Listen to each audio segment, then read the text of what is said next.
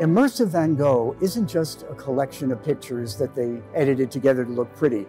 Massimiliano Siccardi, the man behind it, had a vision. He wondered what went through Vincent van Gogh's mind in the second before he pulled the trigger on the gun that took his life.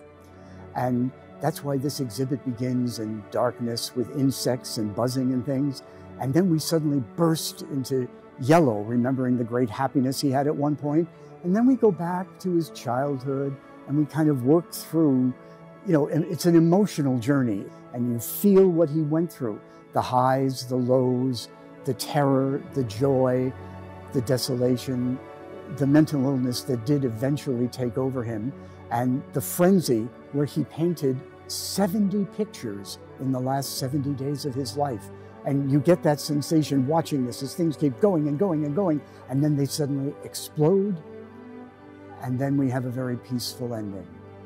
This is another terrific way of entertainment that you can go out, spend time with your friends, wander around, be moved by these works of art, maybe get an insight into Vincent.